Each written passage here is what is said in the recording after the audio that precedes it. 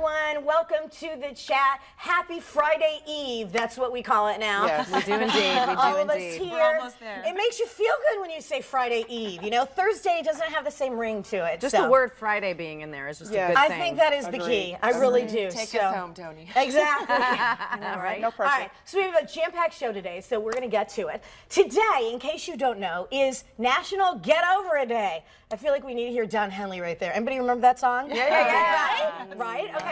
This day was created by Jeff Goldblatt in 2005 after having trouble getting over an ex-girlfriend. Now people across the country are using hashtag National Get Over It Day to post their personal thoughts on social media, which I think I'm personally over. So so, what is something that you wish people would get over? I I was like so overwhelmed with this that I I couldn't. You, you know how you're so overwhelmed you can't come up with just one thing.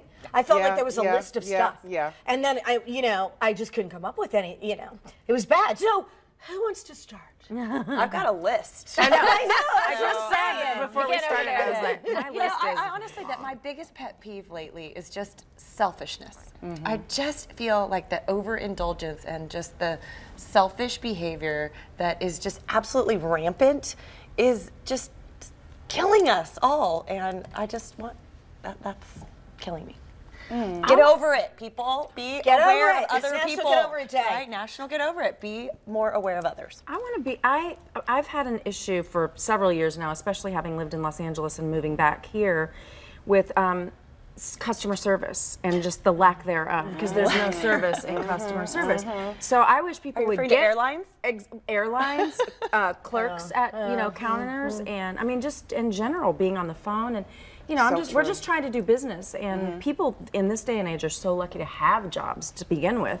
And I just want people to get over. Who, if you're in a job of service, get over the fact that You have to I'm, work I'm in there service. To be, I'm there to be served, and guess what?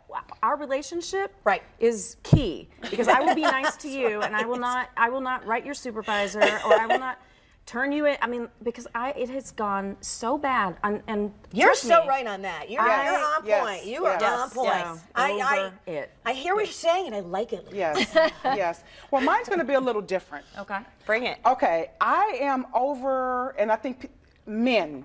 And I, but, but wait, I'm not over men. Oh, no, no, no, no, no, no. I am over men that has been hurt in the past. And they allowed that one bad relationship to hinder their future or hinder the blessing, the woman that God has for them. Well, you know, I was hurt in the past, or my last girlfriend did this. But women can do did- that too. Get over it. I mean, all- people can. That's not gender specific. Anybody Well, can. my but dealing you're right on that. Yes, you're right. It's not gender specific, but my women, because we are smarter, because we Mm. are stronger, we have that S on our chest, and we we can get over it. But men. They have a Linger. challenge. They're lingerers. Ooh, they, it, it lingers. Lingerers. See, I think They're men would say the opposite. I'm And sure I feel would. like Of course more they will. women- Of course they Of course will. they will. I feel like women are more that. But I don't know. Whatever. I- but good point. Yes. I just don't like the fact. I mean, we're talking about saying somebody to get over it, mm-hmm. and Yeah. th- I come from a different angle. I come from the fact that I don't like when people say that. I don't like when people say, "You know what? Get over it." And it dismisses the. I think yeah. that that is so that. That's one of my favorite sayings. so unempathetic. I think it is so rude. I think it is disrespectful. And I'll tell you, Get I, over told- it, Angelia. I told you a story last week. Remember the story I told you last week, Ponytail Gate? I was at an oh event. I was at Oh a my very God. nice event. Ponytail Gate. Ponytail Gate. I had my hair in a awesome. ponytail. Don't get I was that. standing. We had there was a bunch of women, 50 women that had to stand in a row to take photos. And the photographer says, "You guys squish in. We can't get everybody in." So no one wants to go down front. You know, nobody wants to crouch down. Of well, I'm like, fine, whatever, I'll do that. So I go down and I stand in front of the women and I crouch down. Two feet, I'm crouched down. Somebody behind me is a stranger. She pulls my ponytail, pulls it down, and says, This is what I do to people who stand in front of me in a photo. And held my ponytail down. And I yeah. turned around and I'm like, That was really rude of you, actually. I don't even know you. And she goes, Get over it. So what you you're how saying? you want to see somebody's blood boil really yeah. quickly? I- Tell I somebody can't- to get over something. So we- that will cause a real problem that you won't be getting over. what I you're saying, over. Angelia, is you want people to get over saying get, Get over it. Well, I, I it feel goes you back on that too. it goes back to mine. Selfishness, yeah. You know, Uh-huh. people are Yeah. so selfish and so unaware of other people. The fact that someone would touch your hair, A and yank it stranger. If it's a friend, that's one thing. You know, going, oh, hey, you know, that's one I thing. can't. But a mm-hmm. stranger, mm-hmm. mm-mm, I didn't get what? over it. And I don't think I'm still over it. So. I'm not over it either. I'm But not for you. sometimes we have to use, I know for myself, uh-huh. I have to use to get over it when I am trying to, if, if I am going through something internal, whether it's emotional, mental, whatever it may be, and I have to talk mm-hmm. myself and say, okay, Henny, you need to get over it, let's go. Right. I use that a lot for myself. Get over it. Well, maybe it is- that's get what really the day it. is because the day started. This guy, you know, Yeah. was Yeah, trying to get over couldn't that. handle So being maybe it's all yeah. about more like what you have to get. it. Like I need to get over. I need to get over serious road rage. If you're in the left lane and you won't pass Yeah. and you will not let me pass, get over into the other lane. Yes. And I need to get it. And people just I, I aren't going to do suggest that. getting over it right now. I know. I know. not gonna so happen. I know this about myself. She's fuming. So I need to try to meditate while driving or something. I don't Yeah, know. yeah. I don't know. Just keep Yeah. your eyes open, will you? Right. Yes. Yeah. Classical Okay, music. well, we're going to leave that one right there. But yes. So, as we all know, yesterday was International Women's Day, and I had the opportunity to hang out, interview, laugh, and talk with some pretty amazing women. I attended the live show of The View yesterday.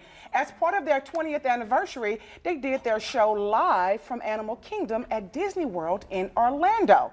So after sitting in the audience with the sun beating down on me like I stole something from it, then I got backstage to interview all five of the ladies. So let's watch some of the interview and we'll chat on the backside. The View, one of America's most loved shows, 20 years, 20 co-hosts, and over 4,000 episodes. But of course, it's no secret that there's been a few challenges through the years, but you've managed to work through them.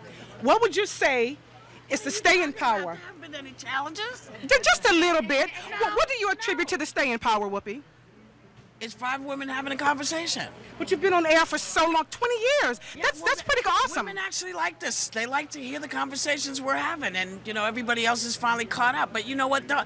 Well, let's break this misnomer. There was one issue, one time, mm-hmm. and there haven't been issues since. Well, you know, sometimes one is all it takes. And then Uh, that's what no, America no, believes. because you don't. Well, but see, I, that's why I'm not letting you continue that. Mm-hmm. Twenty You're years, shutting it down. one issue, mm-hmm. one issue in mm-hmm. 20 years. I think it's pretty good. okay, I understand that. I understand that. She shut it down. So I'm going to move over to you, Joy. One of, she's OG, absolutely. Yes, yes, 20 hosts, absolutely. So you've been on. One of us a No, you're not. Are you kidding me? No. The first episode, August 11th, 1997. Fast forward 20 years. How has the show changed? um, um, the table has changed radically. We all did a whole new thing of body snatchers. you start out with one group, and then over the years, the body snatchers come in, and they sit in the same seats. Okay, I understand that. Who is the diva of the group? Joy. No. Oh, I have a diva. I mean, you know, like Whoopi said, we all like each other. I don't think. Well, Oh, another. Why do you say me? I'm interested in this. queen. I know, but why do you say I'm a diva? The diva. They're the diva queen. Have you heard You've been her here the longest. That's why. No. Wow. Why? Because I want to do this interview in the shade. They think I'm a diva. I demand you on set while you lay back like this. I mean, You see, you see what I mean by the word around here? You understand what I'm saying now? So speaking of that, I want to talk about this bell. So whose idea was it to bring the bell out and why? Well, the bell. Yeah. Oh, why? loves a bell. because it was it it actually it actually signals something very different but in another in another inclina- in another group one of the people didn't like the fact that it signifies something very specific so we've changed what the bell means but now that person's not there so we've gone back to what it actually Not an meant answer. Okay, so you give me the answer. What is your definition of the bell and why? No, I'm just saying she didn't give you the name. She didn't give you a why. She gave you nothing. Did you notice that? That's how slippery she is. If you don't have something nice to say, come sit next to Joy. Ah, Feisty. It was great. Very, very feisty. But hey, way, way, way more of that. There's going to be more later on in the show. You'll get to see the rest of the interview. But let me tell you, I have interviewed many celebrities in my career. This was at the top. Yeah. These ladies were so full of life, charisma. They were talking trash to each other, laughing. As you see, they dropped the B word a lot.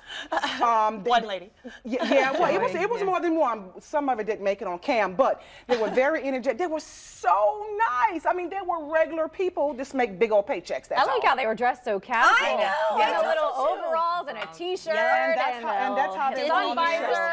Yes. So what? Love They're, that. they're taping their show this week or last week in. in They were Orlando? there. They were there Monday, Tuesday, and yesterday. Um, yesterday's show was live. Monday and Tuesday there was a live show and a recorded show, but yesterday was just one show and it was live. Um, it, it- it was. It was a small army of people out there. The Oh, sure. production, Yeah. the the glam squad, every commercial, the glam squad ran love out there and fixed. Just like here. It's the same. It's Spitting image. I, it's the glam squad is just invisible here. Right. All right. Well, listen, coming up after the break, staying on top in a male dominated field. We're going to chat with a woman who's holding her own in the auto industry. We'll be right back.